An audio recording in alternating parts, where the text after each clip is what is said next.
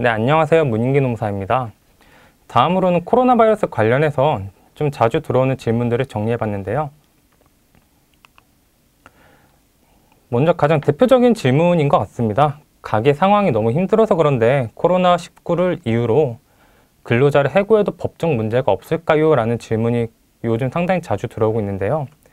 어쨌든 현재 고용노동부 지침은 코로나 감염 및 예방 등 피해를 이유로 근로자를 해고할 수 없다는 입장입니다. 사실 이거는 굳이 고용노동부 지침을 살펴볼 필요 없이 그냥 근로기준법에만 봐도 어쨌든지 간 해고를 하기 위해서는 정당한 사유 그리고 절차 등을 거쳐야 되기 때문인데요.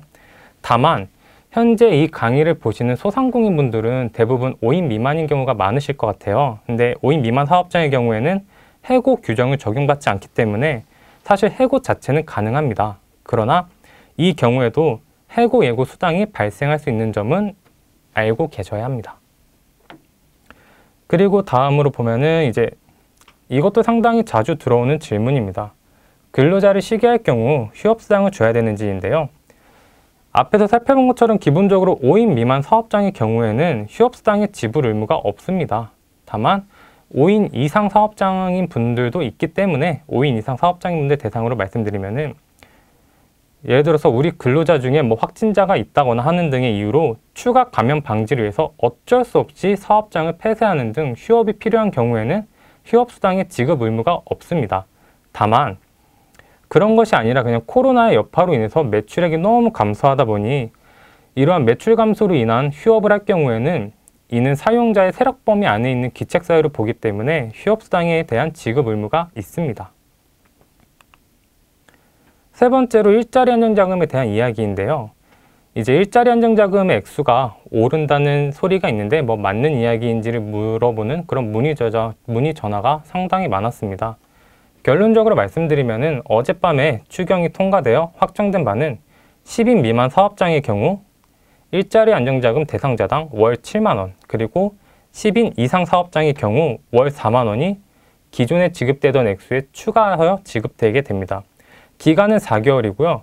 구체적인 시작 시점과 종료 시점까지는 아직 나오지 않았기 때문에 이 부분은 추가적으로 고용노동부의 지침을 봐야 될 것 같습니다.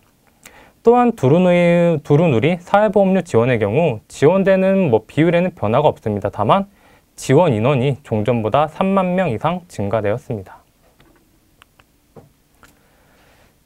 이제 이런 질문도 많이 들어옵니다. 경영상 어려움으로 인해서 이번 달 월급을 다음 달로 미뤄서 지급해도 되나요? 흔히 이런 거죠. 예를 들어서 3월 1일부터 3월 말일까지 임금을 원래는 4월 10일에 지급해야 되는데 이거를 4월 10일에 지급하지 않고 5월 10일에 지급하는 것이 가능합니까? 라는 질문인데요.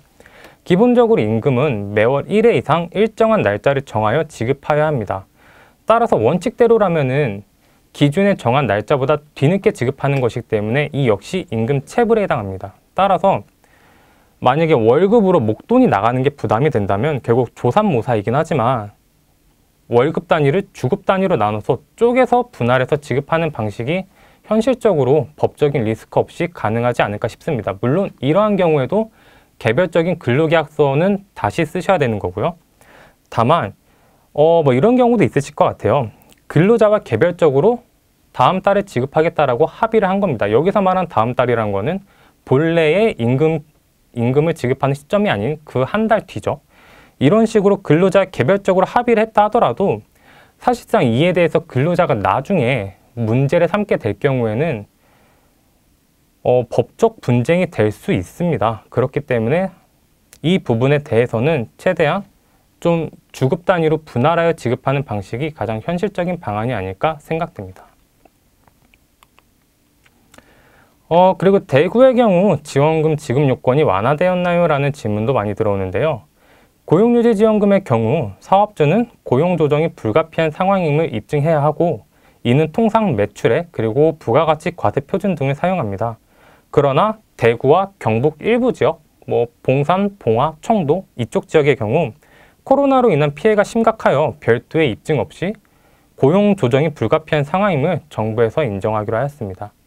따라서 대구나 경북 일부 지역의 경우, 즉 특별 재난 지역으로 선포된 지역 같은 경우에는 고용유지 지원금을 적극적으로 활용해 보시면 좋지 않을까 생각됩니다. 감사합니다.